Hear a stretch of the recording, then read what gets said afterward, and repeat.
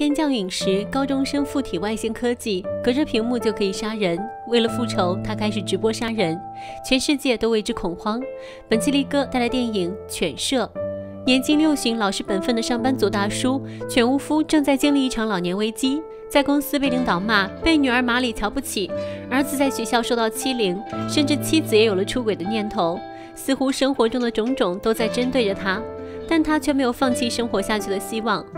一天晚上，一只乖巧可爱的柴犬跑进了家里的院子。犬巫夫从他的项圈上发现了一张纸条，有人在上面写上了柴犬的名字花子，并请求遇见他的人可以收养他。生性善良的犬巫夫当即决定收养花子，可是遭到了妻子的反对，他只好偷偷将花子养在自己的房间。第二天去医院复查身体时，似乎老天又和他开了一个大大的玩笑。医生告诉他，他身患晚期癌症。犬巫夫失魂落魄地走在街上，尽管他的人生已经快到尽头了，但他仍然没有怨天尤人。犹豫再三地想将这件事告诉家人，却没有一个人接起他的电话。犬巫夫逐渐游走在崩溃的边缘，妻子也再三反对他收养花子。于是他在夜晚带着花子来到了一处公园，打算在这里将他抛弃。犬巫夫一步三回头地看着站在原地的花子，随后发了疯似的逃走。像极了想要逃避自己的人生，可当他停下喘气时，花子再一次出现在了他的面前。瞬间，犬巫夫忍不住抱住花子大哭。在这一刻，他似乎又看见了活下去的希望。紧接着，他看见不远处的长椅上坐着一个神秘少年，正打算走过去询问情况。突然，天空中出现了一道刺眼的光，地面也开始颤抖。花子吓得逃跑，下一秒，一颗陨石模样的东西砸向了他和少年。画面一白，犬巫夫陷入了昏迷。当睁开眼时，发现自己还是躺在公园里。花子站在身旁，天已经亮了。随后，他抱着花子回到家里，家人正在吃饭。他喝了一口味增汤后，突然感觉非常的渴，赶紧跑进了房间，手臂却忽然冒出了白烟。他慌张地脱掉衣服，手臂突然展开成了一把科技枪，径直对着墙面喷出了很多不明液体。他定睛一看，是刚刚吃下的味增汤。正当他震惊之际，脑袋也突然分裂，脑子变成了一个类似中枢的科技装置。他发现自己全身已然变成了一具机器。而这时，妻子进来房间，再一次叫他把花子扔掉，身体这才恢复了原样。与此同时，之前与犬巫夫一起在公园被陨石砸中的神秘少年出现在了某所高中内。他是这所高中的学生，叫狮子神。放学后，他去找一个叫阿直的同班朋友。向他展示了自己是如何用手比作枪的形状就能轻易射杀一只鸽子的，还带着他去了地下停车场，凭借意念就能控制车辆行走，甚至还当场变身。阿直看得目瞪口呆。另一头的犬巫夫下班途中看见路边躺着一只死掉的鸽子，当他抱起鸽子时，脑中的机器突然对着鸽子一顿分析，随后鸽子居然起死回生了。犬巫夫在震惊之余，脑袋中突然听见了一道求救的声音。他跟着声音跑到了一家医院，才知道是一位中年母亲在祈求医生救活自己因为脑死亡而变成植物人的儿子。他偷偷溜进了病房，抱着试一试的念头，居然用念力奇迹般的将小男孩唤醒。犬巫夫的世界瞬间敞开了，难掩内心激动地离开了医院。他决心去帮助更多的人。在这之前，他从来都没有感觉自己活过。但死了一次，才发现现在的他通过拯救别人，感受到了活着的充实。与此同时，学校里面阿直正在被同班同学欺负，狮子神出手相助。这一幕被暗恋他许久的同学诗音看见了。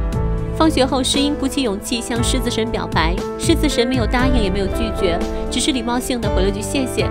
晚上，狮子神去了抛弃了自己和妈妈的爸爸家里，爸爸已经组成了生活美满的新家庭。后妈和弟弟妹妹们也很喜欢狮子神，可狮子神却怀恨在心，他永远忘不了爸爸的所作所为，甚至提起手想要枪杀爸爸，可最终却下不了手。但当他路过一家同样是甜蜜美满的家庭时，扭曲的内心恨意逐渐蔓延，闯入之后枪杀了一家三口。在这过程中，犬无夫听见了女主人的求救声，马上冲向了目标地点。这也是犬巫夫和狮子神第一次交锋，但他却被狮子神轻易打飞。狮子神离开后，犬巫夫起身踉跄着跑过去，想要复活死去的一家三口，可已然无力回天。犬巫夫这才意识到自己终归不是神，无法复活已死之人。第二天，阿直预料到电视新闻上播报的一家三口杀人案是狮子神干的，在天桥上质问他，然而狮子神并没有直接承认。阿直劝他收手，狮子神却不以为然，甚至认为自己是神，是不受人类世界所约束的。阿直无法接受自己的朋友是个杀人犯，断然跟他绝交。回到家后，狮子神得知自己深爱的母亲患上了晚期胰脏癌，内心阴暗面再一次上升到了极致。这时，坐在公园的阿直开始向神明祈祷，祈求狮子神不要再犯下罪行。犬巫夫听见祈祷声后，一下子就联想到了一家三口惨案中的狮子神。他看着花子，下定决心一定要阻止狮子神。随后，他找到了阿直，并向他述说了一切的源头。阿直也拜托他打败狮子神，因为犬巫夫从来都没有用过手枪。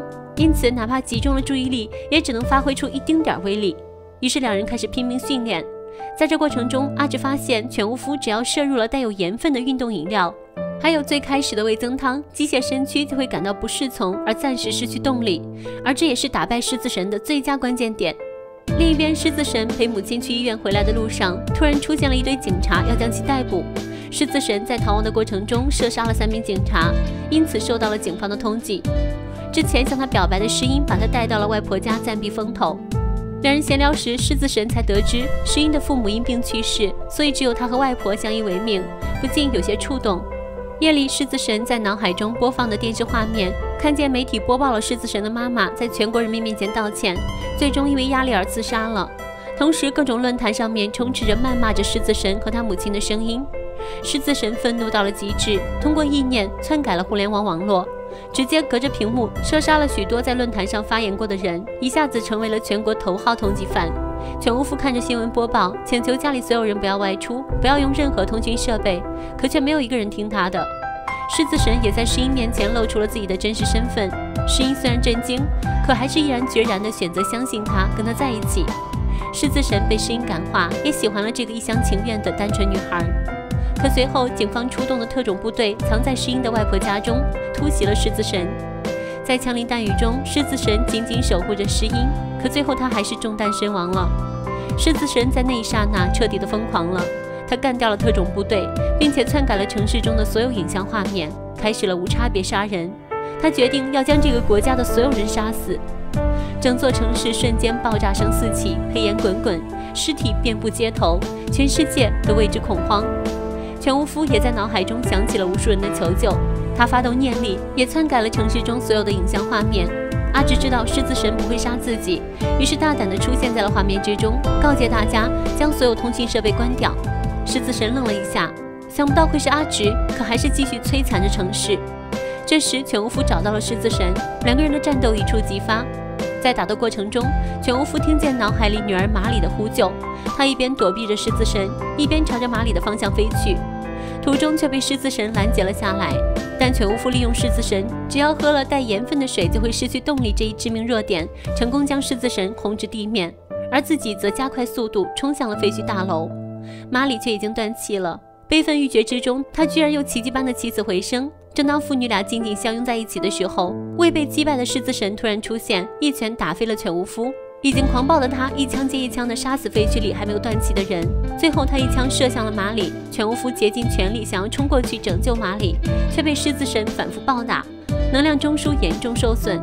即将要死掉的父女俩打算最后紧紧握住彼此的手。狮子神觉得肉麻，提起马里，将他扔下了大楼。犬巫夫看着被丢下去的女儿，迸发出巨大的能量，展开了飞行器，冲向狮子神。他将半个身躯撞得支离破碎。而后又冲下楼，接住了即将落地的马里，向他灌注了全身的能量。马里再一次起死回生。全无夫没有太多的时间，他还要去救更多的人。这一刻，看着父亲冲向云霄的身影，马里好像看见了真正的神。最后，警方并没有找到狮子神的尸首，现场只有一堆金属碎片。阿直回到家里才发现狮子神在自己的房间里。阿直很震惊，但还是坐在了狮子神的旁边，问他要不要一起玩新发售的游戏。阿直，你还是没变啊，因为我们是朋友啊。神明来自幻想，却是人类救赎；恶魔来自地狱，却也存在人间。家庭失意、身患绝症的大叔，并没有因为这个社会的冷漠而扭曲心智。当遇见了花子后，甚至重拾了人生希望，为世人们带去神的赐福。